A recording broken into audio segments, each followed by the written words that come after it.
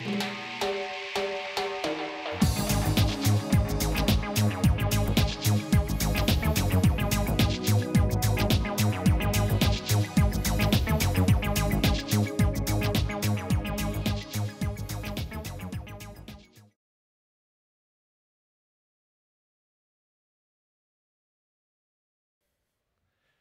morning, everybody.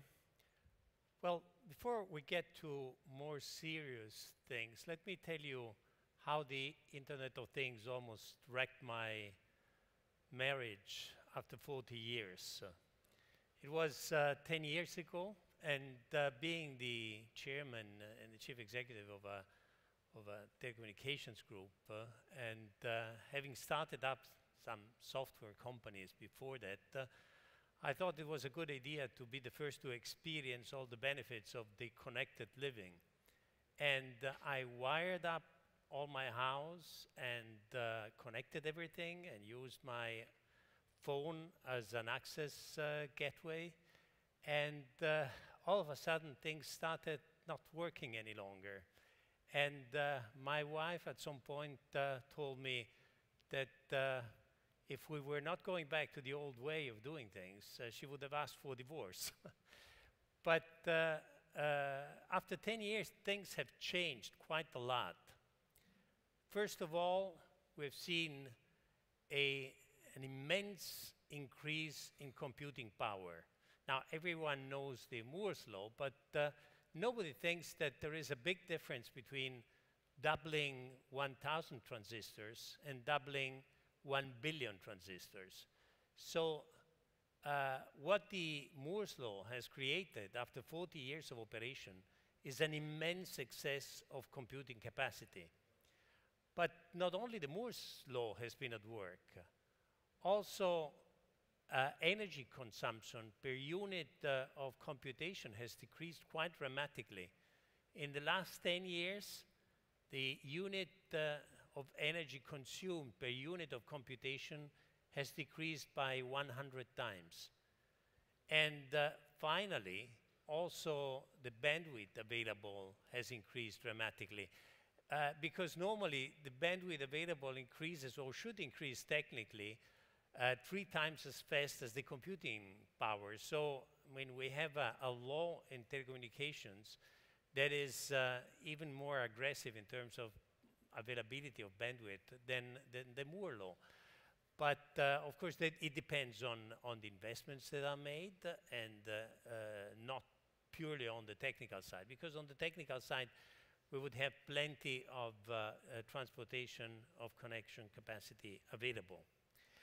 Um, so what all this has created uh, has been the smartphone revolution. You know that uh, one every two people in the world is, has a mobile phone. One every five people in the world has a smartphone. So the smartphone revolution is becoming really universal. And this in turn has created another revolution. The smartphone revolution has allowed us to collect an immense amount of data on the life of each of us. Uh, thanks or not thanks, it depends on the point of view, uh, to the smartphones, we know, everyone knows where we are, what we do, whom we deal with, uh, what our preferences are. So it's, uh, it's a very detailed knowledge of the preferences of each individual consumer. And uh, of course, this is one part of the of, the, of the coin. The other part is that uh, we have been developing analytical tools uh, with the big data developments that allow us to utilize all this data and to make a coherent vision of what they mean. Of course, there, there, are still lots of things to do on the big data. I mean, there is a lot of hype and a lot of talk about big data, but I think that we are in a very early stage uh, we are promising perhaps more than uh, we are giving with the uh, big data analytics. But still, we will come up with, uh, with uh, uh, new sources of analytical tool that will make even more sense of the data that we are collecting. So uh, the, I think that these changes uh, have allowed, in turn, an yet another revolution, because uh, thanks to the smartphone revolution, we have uh, made available to the, to the rest of the industry an enormous amount of very sophisticated uh, sensors uh, that can be used uh, for a number of other things. Can you imagine that uh, the computing power and the, and the kind of uh, infrastructure that is built into an iPad now is the same amount of computing power and it's even more sophisticated uh, than the computing power and the resources that have been used to send a man on the moon almost uh, now, almost 50 years ago, 40 and so years ago.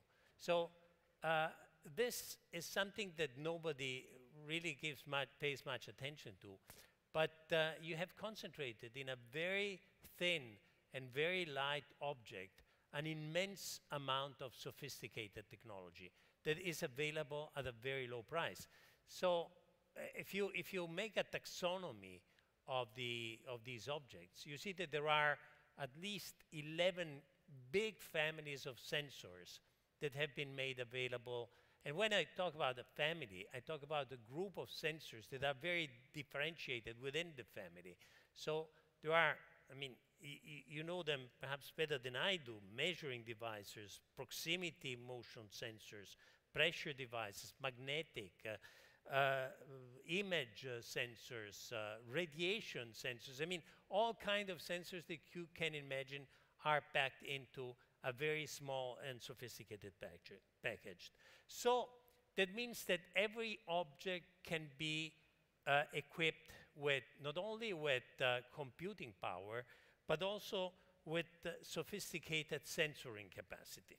But again, this is not yet the end of the story because from the internet, from the Moore's law, from the, uh, from the smartphone revolution to the Internet of Things, now uh, having all those intelligent connected things uh, uh, will be equipped with actuators, will be equipped me with mechanical parts, and we are going towards a world that will be dominated by intelligent robots. The robots that will be able to interpret the world around the, them and we able and will be able to perform a lot of tasks that now are performed by the man.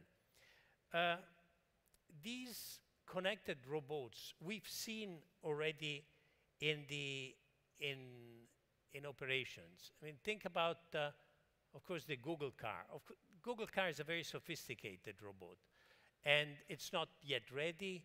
It will face an enormous amount of hurdles because of regulation, and so we will probably see the self-driving cars as as a normal commercially available product uh, in several years.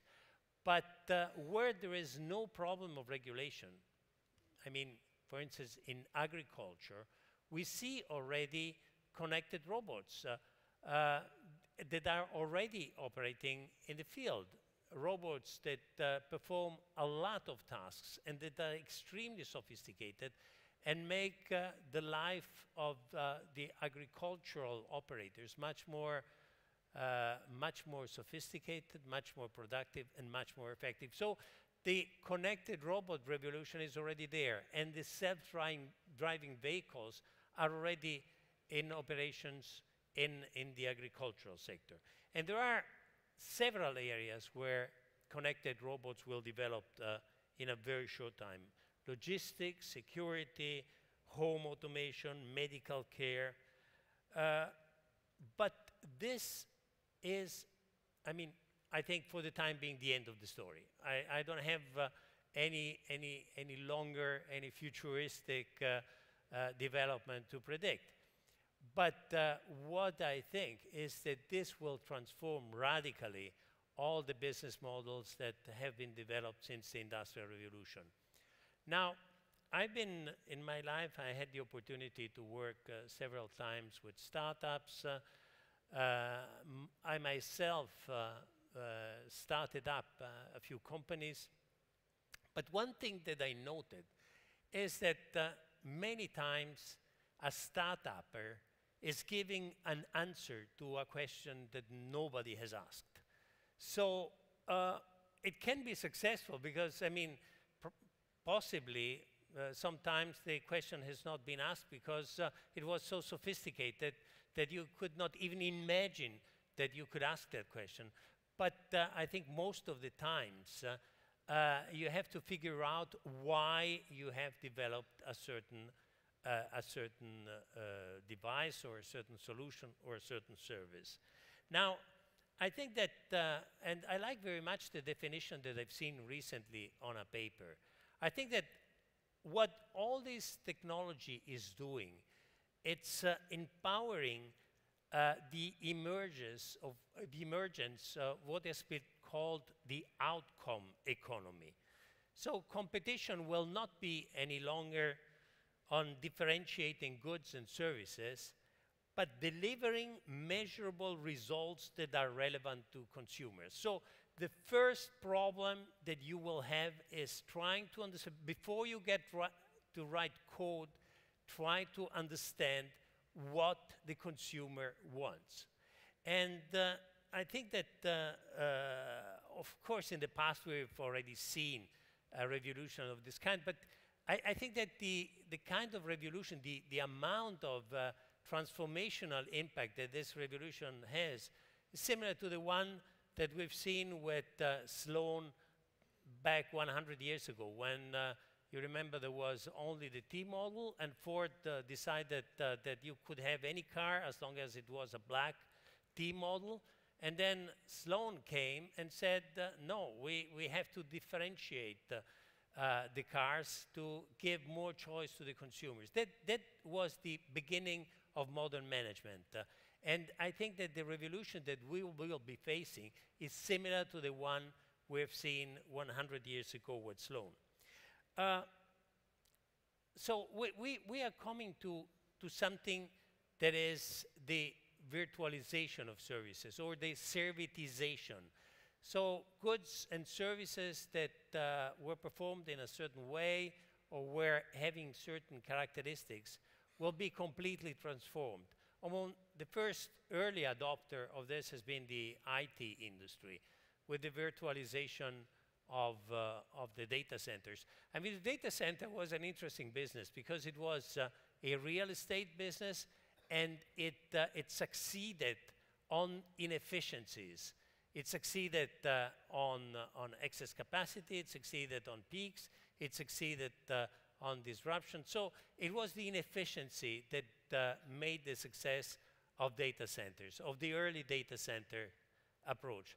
Now, with the virtualization of data center, with the development of uh, virtualization software, with the development of sophisticated storage capacity, we have uh, virtualized data centers. But of course, that was not the only virtualization. We're going toward uh, virtualization of networks. We're going to virtualization of almost everything. In the, in the goods area, we have virtualized books, we have virtualized mu music, but that was long time ago. Now we are virtualizing more sophisticated goods. Think, for instance, uh, at uh, Uber and at the virtualization of the cars. Uh, at some point, uh, the car is one of the most sophisticated objects that uh, you can have.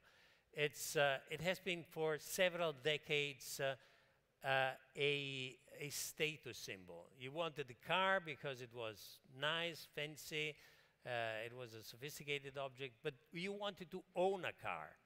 Then you started having problems, parking problems, congestion problems, and then what you started to understand is that you didn't need to buy a car, but what you wanted were efficient transportation services. And here came Uber uh, and, and the other virtualization of cars services that you find now and that are becoming dominant. I mean, they are, they are not yet as, as spread as one could imagine, but it's simply because uh, uh, people are not yet uh, used to the benefits of this kind of virtualization. Uh, Amazon, of course, was one of the first big company to make virtualization, uh, virtualization a, a uh, the core of its, uh, of its uh, business models. and it made virtualization through a sophisticated stack of, of software development, enabling developers to use their APIs, exposing the APIs, uh, and this allowed another step in virtualization. Exposure of APIs is something really recent in the, in the telecommunications industry. It started a couple of years ago. People understood that empowering other people to make, uh, to use the uh, application protocol interfaces for different services, they could enable an, an enormous amount of services for the benefit of consumers. So, so we have uh, examples of virtualization also in very sophisticated uh, areas. Uh, think, for instance, of uh, Rolls-Royce that is selling not any longer aviation engines, but it's serving aviation engine services by the hour. So that means that there will be an enormous amount of opportunities in the world of the Internet of Things. But there will also be enormous amount of challenges because the original architecture of the Internet uh, was based on a very different concept than the architecture that we need for the Internet of Things. The original architecture of the Internet was based on uh, a close community of trusted people, of people that knew each other. So reliability was not a real problem. Uh, all of you know that the key concept of, of the internet uh, as we know it is best effort. But best effort uh, will not be enough for the Internet of Things. Uh, and reliability will be critical. So, I mean, think of what would happen if telemedicine applications were based uh, on the best effort uh, concept. Or think uh, what would happen if power generation or, I mean, selling the uh, aircraft engine by the hour would be, be based on, on, uh, uh, on, the, on the concept of best effort. No, no, you need reliability, which is a completely different approach. And, and also, you need uh, other qualities that you didn't have in the, in the, in the old internet. You need uh, a very strong uh, approach to safety and security. Think, for instance, what would happen if uh, a terrorist would take control of your car, of your uh, self-driving car, and, uh, and drive you to, to, uh, to crash into a, a mall? Or what would happen if a terrorist would take control of an engine or of a power station, leaving you without power? Uh, I think that uh, security and safety that uh, in the past has been developed on an ad hoc basis. I mean, the financial world needed security and developed ad hoc solution, but uh, it has to be embedded in the architecture of the new Internet of Things. There won't be any longer the possibility of uh, using, of, of having an Internet of Things that is not reliable, that is not secure, that is not safe. Uh, and then there is the problem of uh, privacy. The problem of privacy, I mean, people have given up privacy uh, in order to benefit uh, from the uh, advancement of social networks uh, and, and the applications that are available on the social networks. But privacy with the Internet of Things is a completely different concept. What if someone would get access to your medical data and uh, his, is not a physician or it's not uh, a hospital? I mean, you need to protect uh, your data. And then finally, there is the problem of interoperability. Now, the problem of interoperability is again something that has differentiated uh, the internet world from the old telecommunications world the telecommunications world was based on the concept of interoperability. I mean, you can call from Barcelona to Shanghai because all the telecommunication systems have been developed uh, on interoperable, on common standards, on standard defined by international treaties. You know that uh, internet and uh, the, the, internet community did not want this approach. It might change now with what has happened in the, state in the States recently with the decision of the FCC to change the decision of 2002 that uh, completely took out uh, the, the internet from the telecommunication system. Now, probably there will be something, I mean, there will be a swing backwards in that direction. But uh, we will need interoperability because uh, the services will need to operate with the same standards uh, in every part of the world. So uh, I think that the business models that we will see in the Internet of Things will be quite different from the business models we have seen in the older Internet. In the older Internet, you remember back 10, 15 years ago, it was all, all a problem of clicks, of eyeballs. Uh, uh, nobody knew really how these clicks and eyeballs could translate into profits, cash flow, dividends. Uh, but it was, a, it was a big hype. Uh, and of course, it was a big hype that created a lot of enthusiasm and created a lot of things. Now, the Internet of Things needs reliability, needs interoperability, needs security, ne needs privacy, and therefore it will dictate the business uh, models. And there will be basically two main areas uh, that will define the business models. The areas that will be dominated by public sector requirements that will be regulated and that will be the domain of the big guys. The big guys are getting very heavily into the Internet of Things. Uh, you see initiatives by General Electric, by Siemens, uh, by, by everybody. All the big players consider the Internet of Things as something that they need to develop very aggressively. Uh, on the other hand, there will be, however, opportunities in the unregulated uh, sector, but these opportunities will require the ability to dominate the entire vertical uh, application system. So again, it will need uh, fairly a fairly sophisticated approach. So on the one side, big guys, on the, on the other side, sophisticated, uh, sophisticated concept, sophisticated approach, and the ability to develop vertically integrated solutions. So in a nutshell, to conclude, I think that the IoT world will probably offer more opportunities because it will be much, much bigger than the older internet. The older internet was dedicated mostly to, to a domain that was the domain of the telecommunications uh, industry. The Internet of Things will expand in every domain, and we will have uh, uh, and we will have all the industries that will be reshaped by the Internet of Things. So the opportunities uh, will be either on a smaller scale because you will be developing on software developer kits that, uh, uh, that will be made available by the big players or will require more sophisticated management skills.